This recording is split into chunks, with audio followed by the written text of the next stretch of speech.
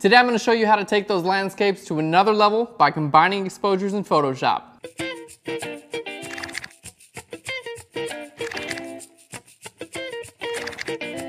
Hey guys, welcome to Phlearn. My name is Aaron Nace. You can find me on Twitter at aknace. Today we're going to show you something really cool you guys can do with your landscapes. We're going to be combining a couple different exposures. Now, the coolest part about this is you guys don't have to actually take any different exposures in the camera. This is something you can do completely in Photoshop. We're using contest winner from last week's image, Michael W, and this is a very, very cool image. If you guys want your image edited on Phlearn, just submit it in a contest we have every single week. Let's go ahead and get to the image. It's gonna be very, very cool. So here's our image as submitted by Michael. Already a very cool image. I like it a lot. It was taken in South Carolina. We've got some light rays coming through. And uh, after just a little bit of editing, this is what I've done to it. So you can see already a cool image, but we've just kind of taken it to a different level with some editing. So I'm going to show you guys how to do this, and uh, we're going to go ahead and th go through it. So I'm going to go ahead and delete that layer. We don't need it. We'll show you guys how we did what we did. All right, the first thing I want to do is take care of our darks and our lights. We're, what we're going to do is bring up our darks a little bit, and we're going to bring our lights down. Now that might sound a little bit weird, like we're just playing with our contrast there, but we're going to be doing some things also. We just basically need to bring it to a midpoint, and then we can start tweaking it. So I'm going to hit Command J, which duplicates our background layer. Now we have a layer one. Then we're gonna grab a curves adjustment layer. There we go. And I'm just gonna grab here in our RGB, I'm gonna grab this and just bring it up just to right about there. Okay, looking pretty good. And then we're gonna go back to our layers.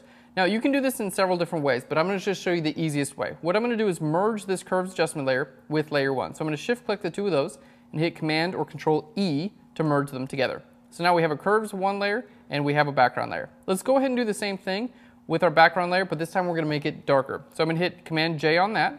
Let's bring that up above our curves adjustment layer, okay? Or the, the merge layer. Background copy, you can hit Command close bracket to bring it up, or you can just click on it and drag it up or down. Okay, now we're gonna do the same with our lights. So let's grab an adjustment layer. We're gonna go to curves again, and now we're gonna pull this down quite a bit, something right about there. Okay, and we're gonna shift click the two of those and hit Command E we've got those merged together. Okay, so if you guys are following us, we've got our original, we've got a lighter, lighter version, and we've got a darker version. So now what we're gonna be doing is we're gonna be using a couple really cool tools within Photoshop to basically blend all those together in a really controlled way. So I'm gonna go over here to our lighter version. We're gonna click at visible, and then I'm gonna put a layer mask on this layer. So we have our layer with the layer mask on it. Now on the layer mask, make sure you're not clicked on your layer. Make sure you're clicked right here on your layer mask what we're going to do is go up to image and then down here to apply image. And what this is does, it basically takes a snapshot of everything you see and it puts it on the layer mask. So we can tell it to either be visible where the underlying layer is lighter or darker. Now, if you guys have been watching Phlearn for a while, you know we use blend if as well. This works a bit different from blend if, and for this sort of thing, it's just gonna be the thing, it's gonna be what you want. So when focusing on exposure alone, use apply image. Okay, here we are, hit apply image. Now, we do want our layer here to be merged, channel, RGB. Blending mode, we're always gonna keep on multiply and opacity on 100. Basically, the only option you ever have to worry about is whether you're gonna be clicking on invert or not. And in this case, because we're bringing our dark slider, we do wanna click on invert. So there we go. We're gonna hit invert and I'm gonna hit okay. And what this does, let's hold Alt or Option and click on our layer mask. This is what the layer mask looks like now. It's just basically, you can see it's an inverted snapshot of our image. What was dark looks light, what's light looks dark. So what it's doing is because we made this layer lighter using that curves adjustment before we merged it together, it's now telling this image where it's to be lighter, but only where this image is dark. So it's not affecting my highlights at all, it's only affecting my shadow areas. So let's hold Alt or Option, get that back off, and we can see the before and the after.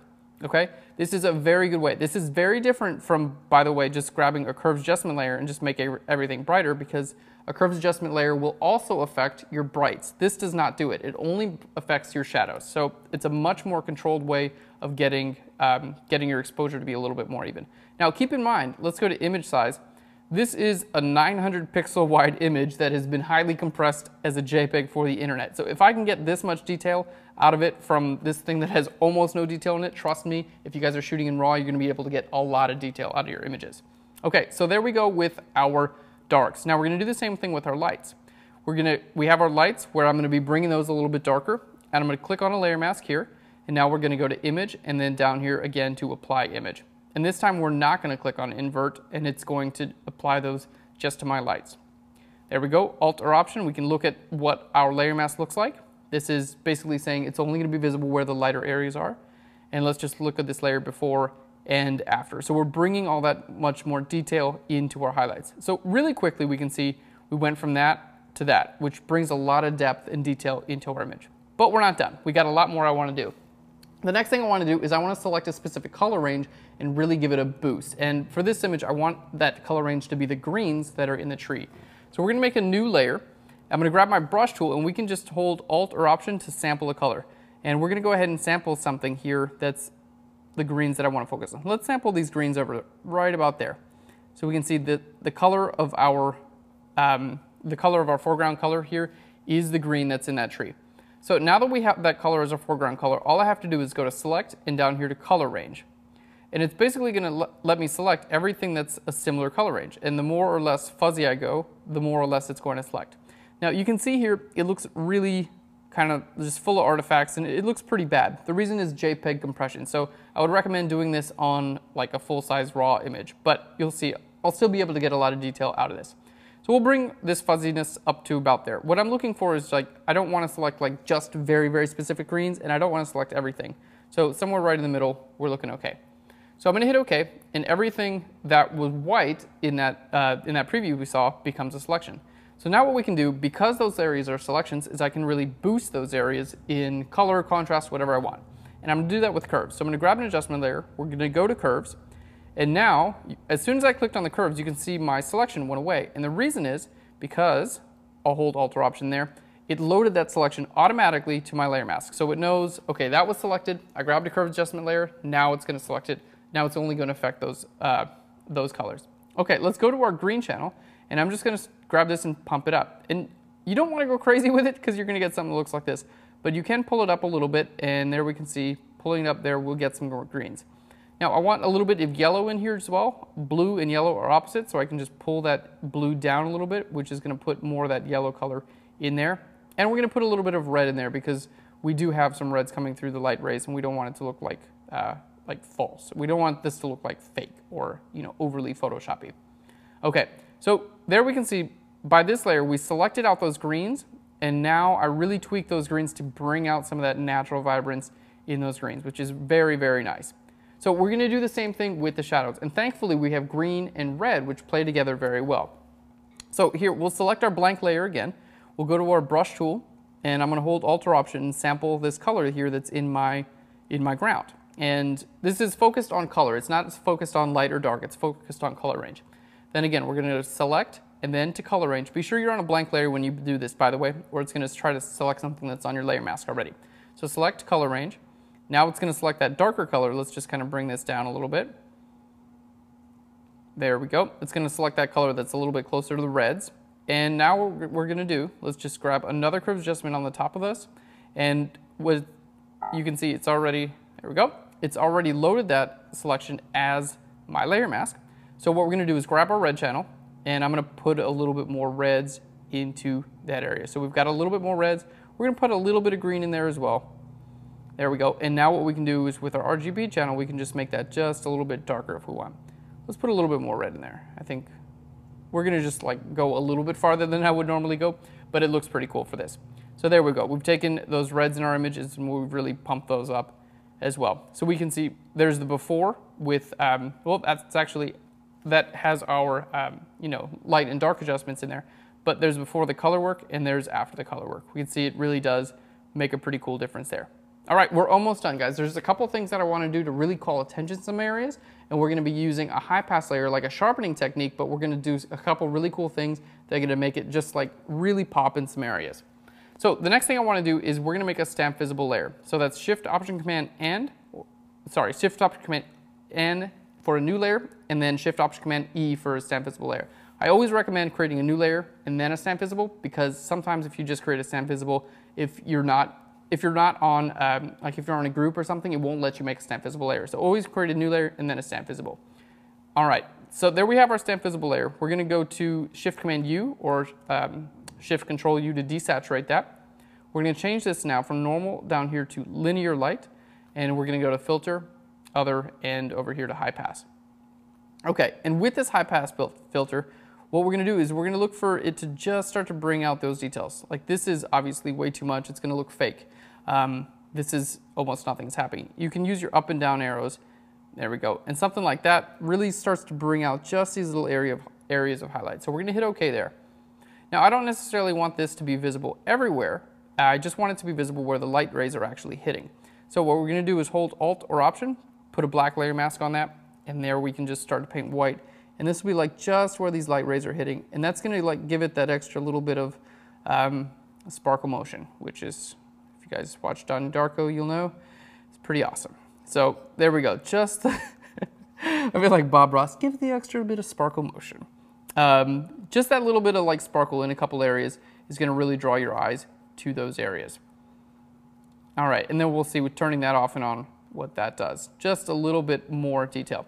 Now we're going to do the opposite, which is pretty interesting, and we're going to draw less detail from some areas. So again, we're going to make a new layer in a stamp visible. So Shift Option Command N, Shift Option Command E will make a new and then stamp visible layer. Okay, we're going to hit Shift Command U to desaturate that again because we don't want this affecting our colors, just light and dark. Now I'm to hit Command I, which is going to invert the layer, and we're going to be doing some special effects here as well. So inverted that layer, we're going to change this from normal to soft light. Now we can see we have like a really fuzzy looking image, and that's because I inverted it. If I take the invert away by hitting Command I again, it, it looks totally different. But hitting Command I gives us like a real fuzzy looking image. Now we're going to run a high pass filter on this again. So we'll filter other high pass, and we're going to choose a slightly larger radius. And this kind of gives you that like halo-y type of look. It was really popular like, with like wedding photos in the 80s. Generally, I don't, this is not a look that I like. Um, So why am I doing it here, Aaron? Because it's a really good look to like call less attention to some certain areas. So let's say, okay, you can see this is like the, like, you know, everything's kind of blurry. Um, just like looks like mall wedding portraits, just not great. But it can be very helpful in some areas of the photos where you don't want a lot of attention to be called. So we're gonna hold Alt or Option, put a black layer mask on there, and then I'm gonna paint white. Areas like the trees and things like this up on the very top of this image where you might not necessarily want your viewer looking at these areas. You know, this, this is not really the important part of the image, maybe just back there a little bit. Um, and what that does is it basically does the opposite of a high pass layer. Instead of like focusing your image on a certain place, it takes attention away from one place, which then in turn makes you focus on a different place. So using these two techniques in conjunction with one another are, is a really nice way to like do it subtly but get attention where you want it. So I'll show you the before and after with those two on. So that's without anything, and there we go. So taking less attention from some areas and adding more attention to other areas. All right, guys, and if you wanted to just take this one step further, grab a curve adjustment layer. Let's bring our brightness up a little bit. All right, we'll put a little bit of red in there. We'll pull down our blue channel, which is gonna put some yellows in there. You can just do this as an overall, or what I'm gonna do here is just grab my brush tool and we're just gonna paint basically where these light rays are. I'm not trying to be super, um, you know, like it doesn't really matter where I'm painting is what I'm saying. I don't need to be super accurate here. I'm just like painting like blotches of light. Um, but the idea is to just get it to be like, you know, basically where those light rays are painting. This is what my layer mask looks like. I just did this with my brush tool. It's not that fancy. But we can see it does add a little bit more of effect there. And um, that's it, guys. So let's shift click all of those layers that we added to this. I'm gonna hit Command G to group them all together. And now we can see here's our before and our after. It really didn't take a long time and we did a great job working with not only colors, we worked a little bit with exposure and we showed you guys how to draw attention to some areas and away from other areas. So we took an image that was already very good and just pumped it up a little bit higher. Guys, thanks so much. These are techniques you can use on really any of your photographs. Anything to do with landscapes. I wouldn't so much suggest with people, but landscapes and like interiors, things like that. It's gonna be a really great way to even out those exposures and then bring attention to certain areas. Thanks so much for watching Phlearn, guys. I hope you learned a lot and I hope you love it. See you guys later. Phlearn you guys later. Bye, everyone.